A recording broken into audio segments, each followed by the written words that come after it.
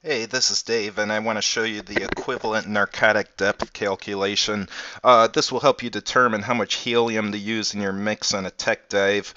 This calculation assumes that nitrogen is the only narcotic gas in your mix. However, oxygen is also narcotic, but it's metabolized, so I choose to ignore it. The calculation is depth plus 33 times 1 minus the fraction of helium minus 33. For an 1845 dive at 150 feet, your end's going to be 67.65 feet. For a 2135 dive at the same depth of 150 feet, your end's going to be 85.95 feet.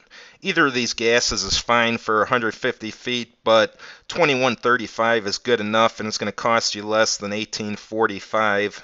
For shallower dives, such as dives to 130 feet, 2525 is good enough because it brings you to an end of 89.25 feet.